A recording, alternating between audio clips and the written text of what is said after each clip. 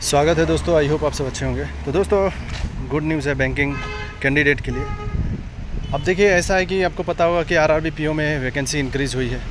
तो ऑलरेडी आपने वो वीडियो यूट्यूब पर देखा होगा तो जैसे बिहार स्टेट के कैंडिडेट के लिए गुड न्यूज़ और देखिए दोस्तों गुड न्यूज़ पे वीडियो बनते रहते हैं। मैं देखते रहता हूँ, कोई ना कोई वीडियोस तो रेंडमली आता है कोई ना कोई वीडियो तो जैसे अब लोग कहते हैं कि प्रॉफिट हुआ है बैंक में आप समझ जाएँगे मैं किसके बारे में बात कर रहा हूँ। RBI में प्रॉफिट हुआ है और आ, मतलब आरबीआई का रिपोर्ट आया कि बैंकिंग सेक्टर में बहुत ज़्यादा प्रॉफिट हुआ है तो वैकेंसी इंक्रीज़ होगा या कुछ ऐसा होगा। प्रॉफिट हमेशा ज़माना से आता हुआ है नहीं तो बैंक बंद हो जाता अगर प्रॉफिट नहीं आता तो। तो ऐसा कुछ कंडीशंस नहीं है दोस्तों। अगर ऐसा होता तो आरबीआई वैकेंसी 450 नहीं 4500 वैकेंसी इंक्रीज़ करता। तो ऐसा कुछ नहीं होता ये सब कुछ नहीं है। आप ये सब मिथ में ना जिए।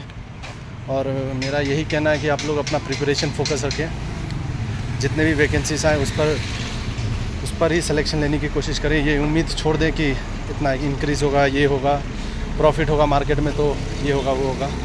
नेगेटिव नहीं बोल रहा हूँ, ना किसी के बारे में बोल रहा हूँ रियलिटी बता रहा हूँ, ऐसा कुछ होने वाला नहीं है। बस ये सब व्यूज़ के लिए होता है कि व्यूज़ आ जाते हैं। तो अगर ये वीडियो आप देख रहे हैं तो आपको समझ आ गया होगी मैं क्या कहता हूँ। तो देखिए दोस्तों, कोई भी डाउट हो तो आप लोग कमेंट कर सकते हैं। तो चलिए फिर मिलते हैं नेक्स्ट वीडियो में।